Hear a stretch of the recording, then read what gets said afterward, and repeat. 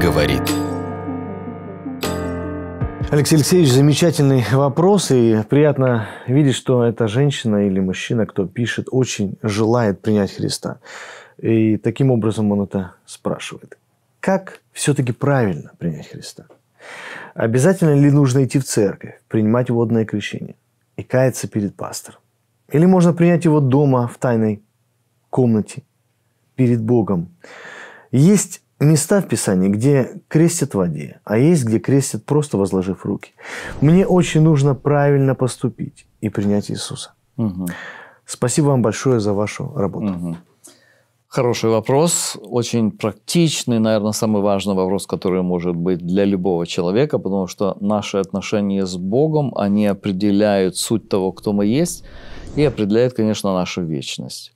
Поэтому знать, что у тебя есть угу.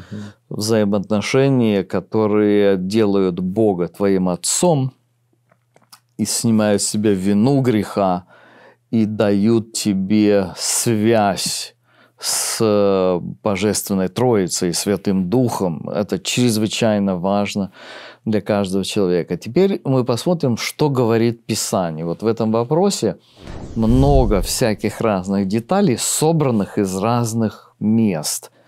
И вот из них составлена такая общая картина.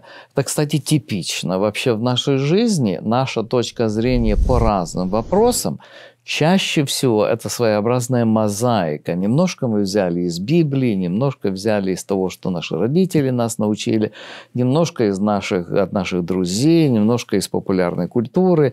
И таким образом получается что-то, о чем мы думаем, что это якобы библейское учение. Угу. Но в действительности, если мы проследим каждую детальку, то мы не так много найдем там библейского. Так вот, давай посмотрим, что же Писание говорит. Во-первых, Писание не использует фразу «принять Христа».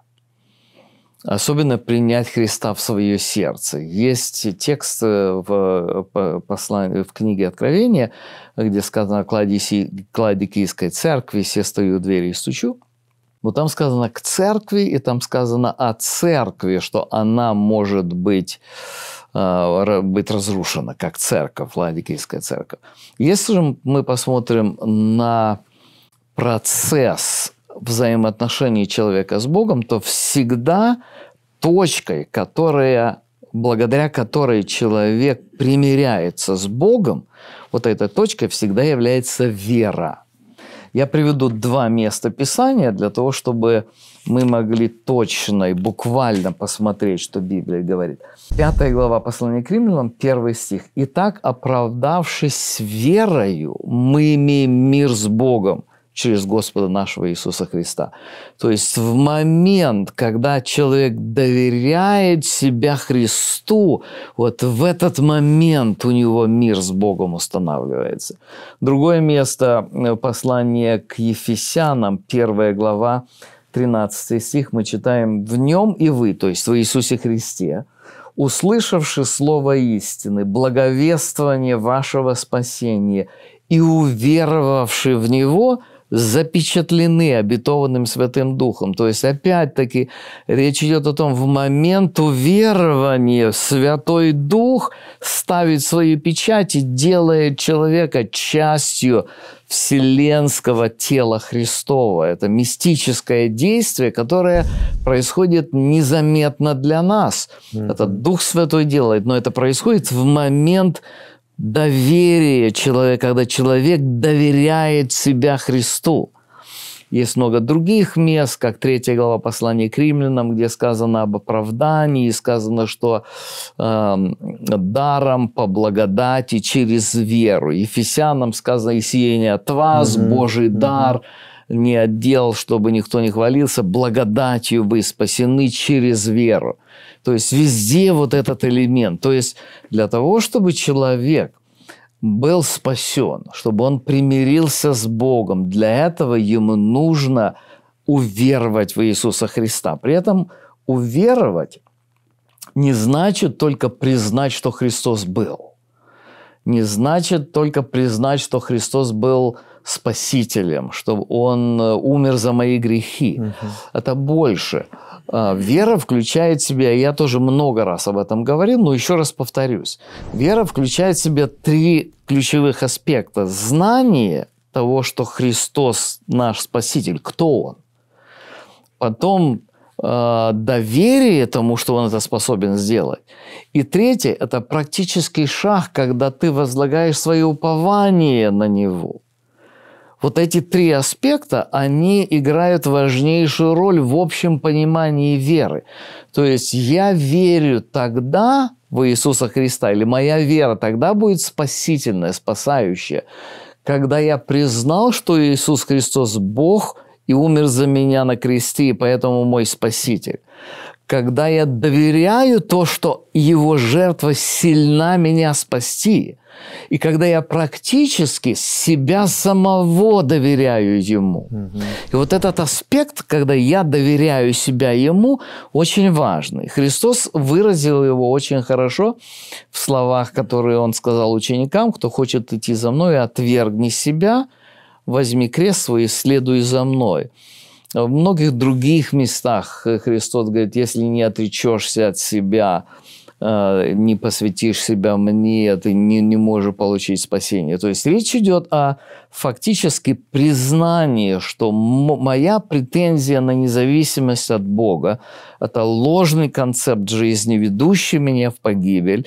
И теперь я отказываюсь от себя для того, чтобы довериться Христу, чтобы Он был господином моей жизни чтобы я вместе с Ним, как Христос был послушен Отцу, и я вместе с Ним буду искать того, чтобы быть послушным Отцу во всех обстоятельствах. Вот это, это момент спасения. Когда это может произойти? Это может произойти дома, угу. это может произойти в церкви во время призывного собрания – это может произойти, когда ты едешь куда-то, и внезапно ты, осознаешь. Я знаю таких людей, которые, он просто остановился на обочину, и вот настолько Дух Святой его коснулся, он, и вот там он в этом автомобиле э, отдал свое сердце Христу, доверился Иисусу Христу. То есть это может произойти в любых обстоятельствах. Теперь, когда это произошло, вот тогда Иисус Христос повелевает, теперь скажи об этом всем. И крещение, водное крещение, кстати, она говорит, что есть крещение возложения рук или крещение водное. А, в действительности есть только одно крещение, и смысл этого крещения был всегда в воде. Везде, где говорится о крещении – то речь шла о погружении человека в воду, что свидетельствует публично перед свидетелями, перед небесами, то, что этот человек умирает для себя и своей прежней жизни. И он восстает, его поднимают, он воскресает для новой жизни в Иисусе Христе. Э, то есть вот, вот эта форма крещения обязательна. Угу.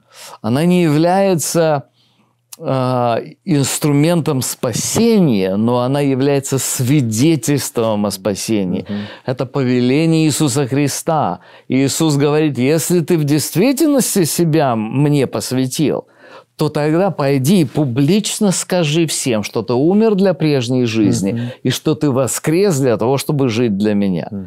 Вот таким образом все те вещи, которые собраны в этот вопрос, выстроены. Тогда как и пони, немножко понимать второй текст, где она привела, что крещеный Духом Святым, она просто путает вот это крещение Духом да, Святым. крещение Духом Святым, мы уже упоминали этот вопрос мимоходом. А, Ефесянам 1 э, глава 13 стих сказано, что в нем и вы, услышавши слово истины и уверовавши в него, запечатлены обетованным Святым Духом. Это и есть Все, крещение. Это произошло Святым. крещение, чтобы она да. понимала это да. разные совершенно. Да ситуации. Да. Спасибо, Алексей Алексеевич. Слава Богу.